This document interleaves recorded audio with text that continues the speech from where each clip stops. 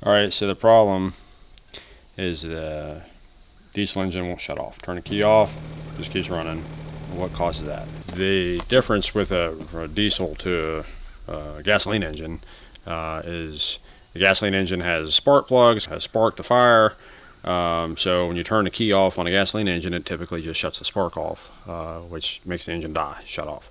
Uh, with a diesel engine, it fires off compression, so you don't actually have um, the, the spark to shut off. So what it does instead to shut the engine off is when you turn the key off, it activates a uh, fuel shut off solenoid. Um, in this case, the fuel shut off solenoid has gone bad and therefore it won't shut the fuel off. So um, that's what I did was just use my hand to push the uh, fuel shut off solenoid um, to shut the fuel off by hand and as you saw it shut the engine off. Um, so what I'm doing now today is to replace it with a new one. Uh, so we'll see how that goes. And just have a couple of bolts here. It plugs in here. And then it just actually slips off here. So that's pretty much it. Grab a socket and a ratchet here and we'll swap her out. All right, so this particular model of the Kubota is uh, the BX2350. I don't think it would matter pretty much what model you're dealing with and whether it was Kubota or whatever. It doesn't, a diesel engine is pretty much a diesel engine. So pretty, I, I, any diesel engine is going to have a, a fuel shut-off solenoid that, that I'm aware of. I don't, I don't know, but I, I would expect uh, yours would as well. But for my particular model, the BX2350, uh, the solenoid I ended up with was uh, model 16851 and this is just an aftermarket uh, solenoid. It's really in inexpensive. I actually ordered this one off eBay I believe. Uh, but you can readily get it wherever. Um, or get with your local dealer and they'll hook you up as well. I'll show here. That's what the little guy is there so all it's doing is electrically activating this guy to shut the fuel off.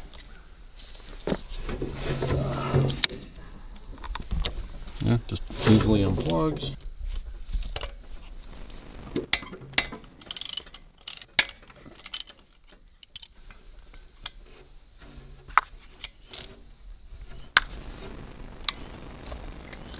That's it. Dollars to it.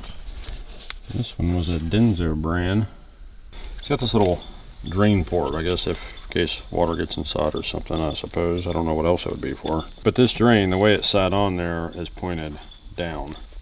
And this one, let's see, I get it arranged the same way, like this, you see is actually pointed up more. So, see if I can turn that somehow.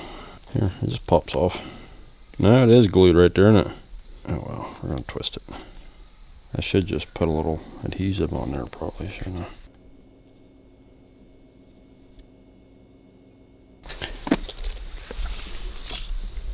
Kind of just poke down in there the way the the way the uh, OEM one did. You could drain it that way. I suppose I've got something in it.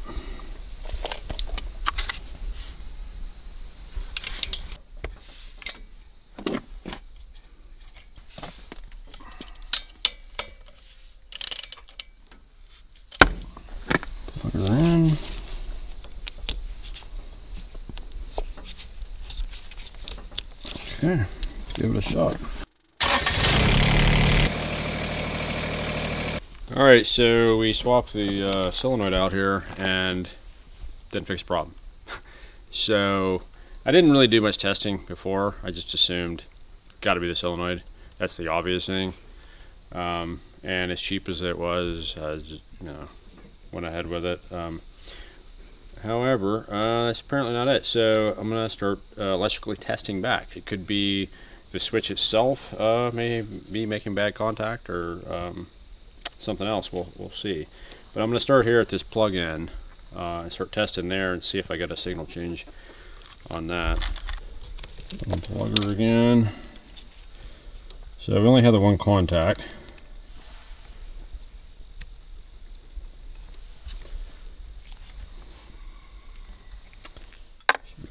Right there.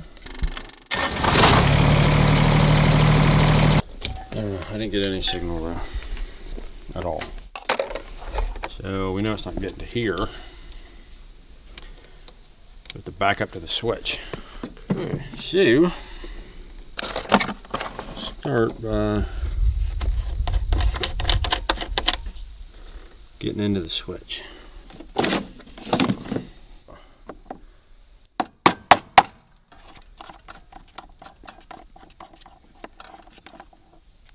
Yes, this tractor is filthy. It's October. I'm not really looking to wash it right now.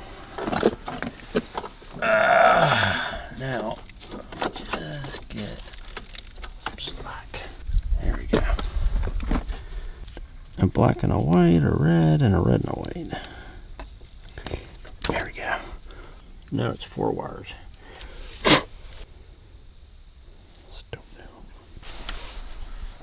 15 amps solenoid. Which solenoid is that? Is that my culprit? Timer relay. Timer relay, what's that one? That's it.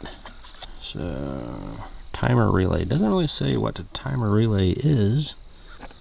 Because what else is there with a timer relay? It has to have a timer relay for the fuel shut off because once you turn the key off, you should activate that just momentarily, you know, for like five seconds, I think, to hold it shut and then release. It's blown.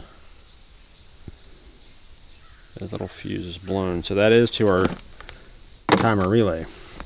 So I would say maybe we didn't replace the fuel shutoff solenoid for no reason. Because if it blew a fuse, there's bound to be a reason. So we went ahead and we've got the new one in. I don't have another fuse. Let's see if we can borrow one for something else for troubleshooting reasons. Working light. Well, it's 20 amp. We don't really want to do that, do we? 10 amp. DC outlet. That's a little booger down there, so we don't think we need that. So let's borrow it from there. Plug this booger back in here. Try it.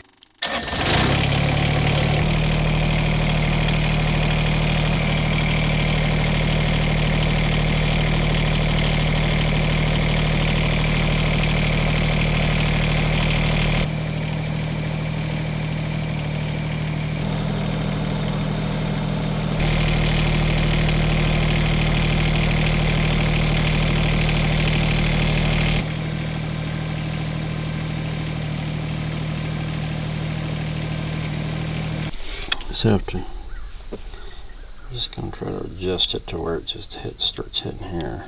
Try that. See if it does it. I just have to adjust it a few times. These holes in this is slotted. I showed that earlier. So that you can slide. Loosen this up again so you can slide this solenoid in and out.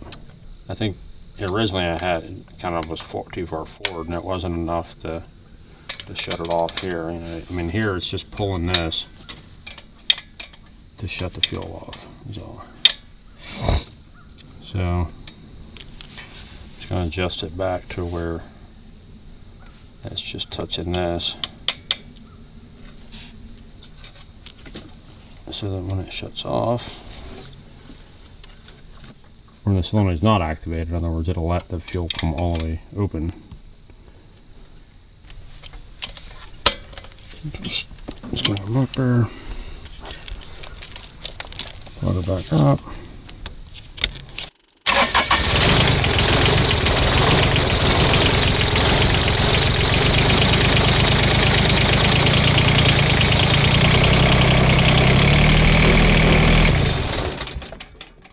Now watch.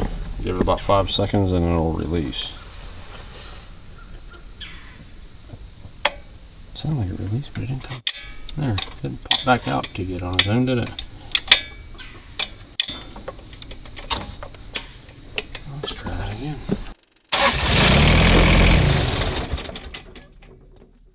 It's not relaxing enough, which is going to keep it partially shut off if you want to restart it.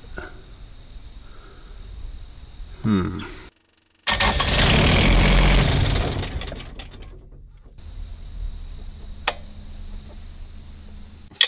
There, finally went on its own. So, ended up being that little 10 amp fuse there. But the fuse blew for a reason. So, probably was the solenoid. But I think I'm going to hang on to this guy just in case this little cheap Chinese aftermarket one goes and fells on me and by next week kidding I don't know who knows but I can always try this again if that one falls on me. I'll just hang on to it. But like I say it blew the fuse for some reason. Uh, however what I could have done to determine I think the first thing to do here would be to disconnect. If it's not working and you see it's not working um, to disconnect it here. There's chickens. Disconnect it here at the uh, at the solenoid and and put a tester on it and you should have once you shut that you're only going to see power on that when you shut the key off. Yeah you know after you've started it shut the key off it should activate uh, a relay to give it power for like five seconds approximately. Um, and that and that just activates the solenoid to pull it back. And when it does it's shutting the fuel off for like five seconds uh, enough to kill the engine and then it, and then it'll release. So if you don't get that on your on your tester um, uh, it's just not getting power period even after you shut it off. Then you can backtrace from there. Next thing I would do is check that fuse. Of course your your fuses are just to the right hand side of your steering wheel column um, easily accessible down by your battery. Um, and it was actually called it's a 10 amp fuse timer relay. But yeah the timer relay that's what that is for uh, timing that five second fuel shut off uh, replace the fuse and this ended up inadvertently replaced the solenoid. But I, like I said there's, there's probably a good chance that that was bad anyway because it did blow the fuse so but who knows? I'm not going to swap it back out. It's already in there. It's working. As long as it's working fine. Uh, I'll hang on to this guy just in case